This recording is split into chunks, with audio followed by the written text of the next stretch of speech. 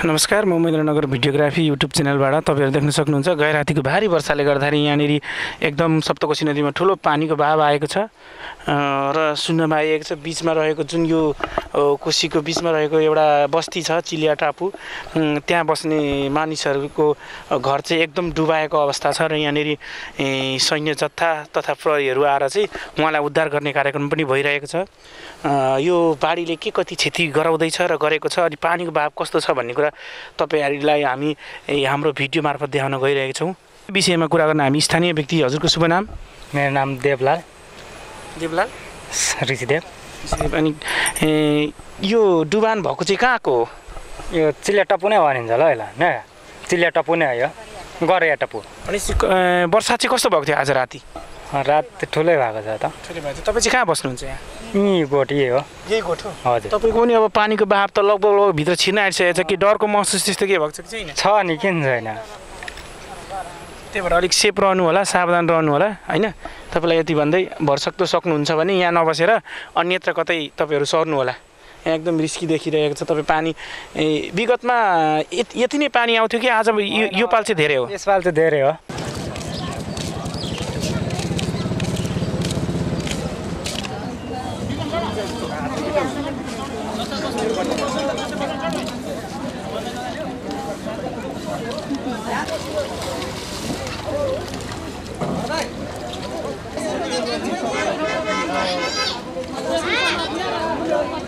mikor elfordul?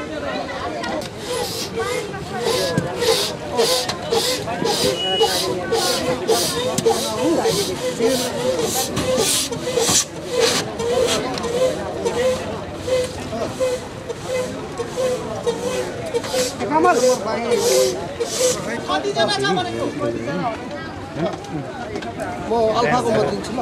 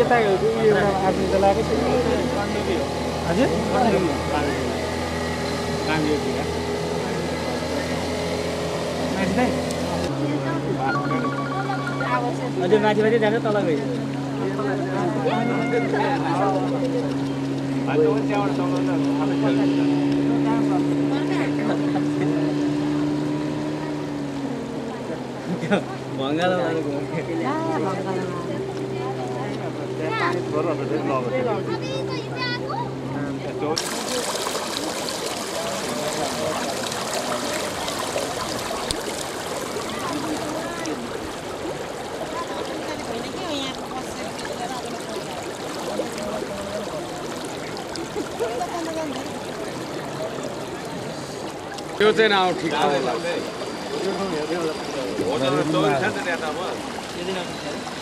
होइन ठिक ठाउँमा लाग्छ क्या उता। लाग्छ यो यता लगाउँछ जानेन क्या अब यहाँबाट यस्तो जानु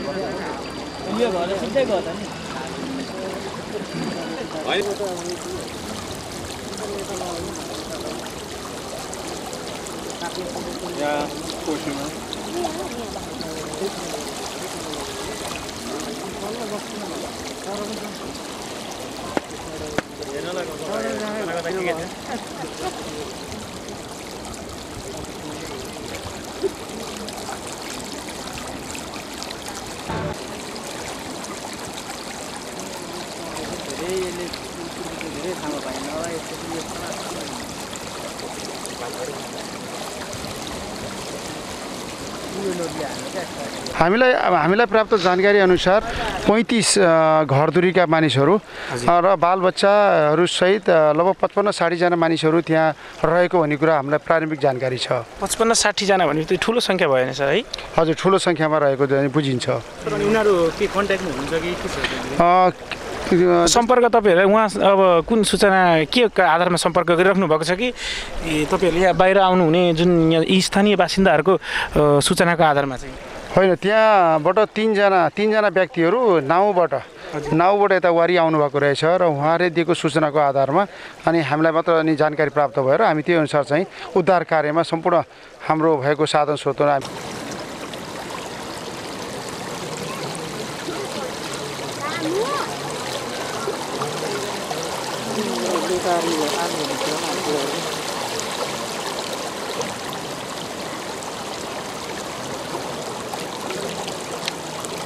नमस्कार सर। नमस्ते। हजुरलाई यहाँनिर स्थानीय बासिन्दाहरू डुबन परेको भन्ने जानकारी चाहिँ लगभग कति बजीतिर हजुरले थाहा पाउनुभयो? करिब बाह्र बजेको एराउन्डमा होला करिब करिब साढे एघार बा-। हजुर अनि तपाईँ आफै यहाँनिर जनसागरको भिडमा आउनुभएको छ। र तपाईँले आज लगभग यो उद्धार कार्य कति बजीसम्म टुङ्गिन्छ होला जस्तो यस्तो छ अब यो कस्तो छ भने कोसीको बाढी हरेक वर्ष यस्तै हामी समस्याहरू भोगिरहेकै छौँ होइन? अहिले चाहिँ आजको दिनमा आज धेरै पानीको बहाव आज ठुलो उच्च बहाव पनि आज होइन? त्यसले गर्दा चाहिँ बिहानै खबर आउने बित्तिकै हामी सुरक्षा निकाय सबै तत्काल हामी भेला भएर हामीले चाहिँ स्रोत साधन इक्विपमेन्ट्सहरू जम्मा गऱ्यौँ र जनशक्तिहरू जम्मा गरेर हामी सबैजना आयौँ होइन? र चाहिँ यसको चाहिँ अब हामी सुरुवात गरेका छौँ त्यहाँनिर स्थानीय जनप्रतिनिधि पनि हुनुहुन्छ। नगरपालिकाको प्रतिनिधिहरू पनि हुनुहुन्छ होइन? हामी सबै मान्छेहरू छौँ। अब सबैको सहकार्यमा उद्धार कार्य अगाडि बढिएको छ। यो चाहिँ आशा गरौँ चाँडो गर्न सकिन्छ र चाहिँ केही मानिसहरू फस्नु भएको छ त्यहाँनिर त्यसलाई उद्धार गरेर हामी चाहिँ सुरक्षित ठाउँमा ल्याउने कोसिस गर्छौँ। मैले सुन्नमा आएको छ यो चाहिँ एकदम जोखिमपूर्ण ठाउँ हो। यहाँको स्थानीय निकायले पनि पहिले नै वार्निङ दिएर चाहिँ तपाईँले यहाँ अलार्मको व्यवस्था गर्नुपर्छ जस्तो लाग्दैन सर? होइन यो जोखिमयुक्त ठाउँ हो र त्यहाँ बस्ती बस्नै हुन्न एक नम्बर कुरो। कसैले अलार्म गर्ने भन्दा पनि बस्ती बस्नु नै जोखिम हो आफै होइन? यो कुरा तर चाहिँ अलार्म पनि गरिरहेकै हुन्छ। होइन? नगरेको होइन। बेला बेलामा खबर गरिरहनु भएको छ। स्थानीय सञ्चार माध्यमबाट खबर गरिरहेका छौँ। हामीले हाम्रै पनि अफिसियल च्यानलबाट पनि खबर गरिरहेका हुन्छौँ।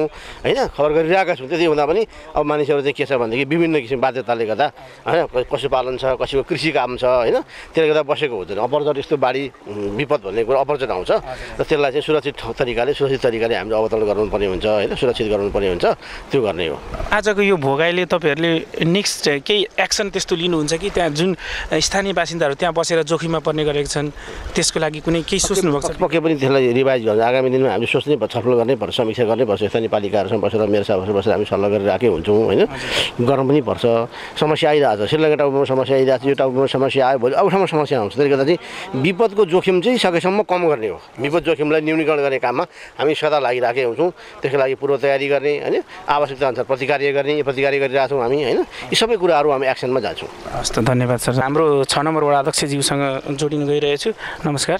नमस्कार। शुभ नाम? मेरो नाम उद्धव प्रसाद पोखरेल।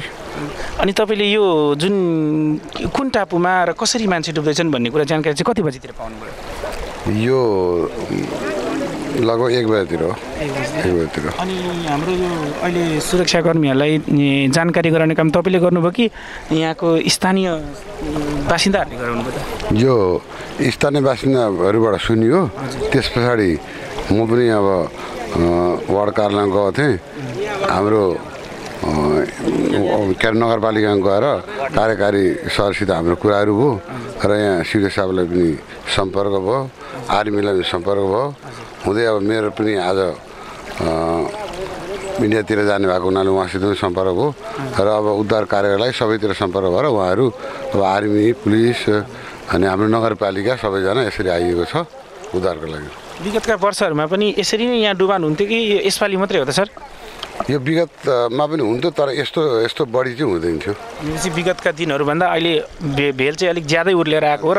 उसले राखेको र यसमा के छ भने नि अब यो पहिला पहिलाबाट हिमताल फु फुट्ने विभिन्न कुराहरू आएको थियो छोरो ताल फुट्ने विभिन्न कुराहरू आएको थियो। त्यो बेला त्यो बेला ब्यारेजको पुल ढोका सबै खोल्दाखेरि यहाँ माछा बराम लाइन लागेको थियो त्यो बेला किनभने यो? ब्यारेजको पुलको कारणबाट पनि यहाँनिर पानी बढी बढी हुने र घट्ने। त्यो पुलको कारणबाट पनि यो यो खालको कुराहरू छ। भनेपछि ब्यारेजको पुलमा पुरै ढोका नखुल्दा यहाँ पानीको बहाव ज्यादा हुन्छ। अनि ढोका खोल्यो भने पानीको बहाव घट्छ घट्ने हो त्यो त्यो कुरा।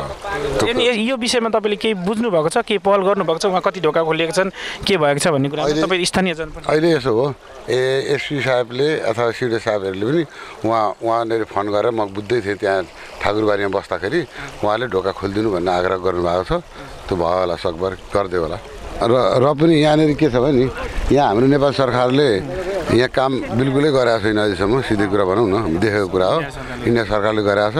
अब पोहोरको साल पनि हेरियो यहाँ कटन गर्दै गर्दाखेरि त्यो त्यो बेला अब अब पानी बढेर यहाँनिर यो नोच पनि ल बगाएर लग्यो यी सारा कुराहरू हामीले आँखाले प्रत्यक्ष देखेका छौँ। तर त्यो बेला अब इन्डिया इन्डियन आएर नि अब यसरी नोजहरू बाँध्ने कामहरू त्यसरी बिस्तारै भए पनि जसरी भए पनि इन्डियाले नै गरिरहेको छ भनौँ न त्यो खालको कुराहरू छ। र बचाउने प्रयास गर्ने गर्ने नगर्ने इसारा यही कोसीको लागि आज मेयरलाई पटना बोलाएको छ। र उहाँ पटनातिर जानुभएको छ। यही कोसीकै कुरामा यो पनि मैले बुझाएँ हो।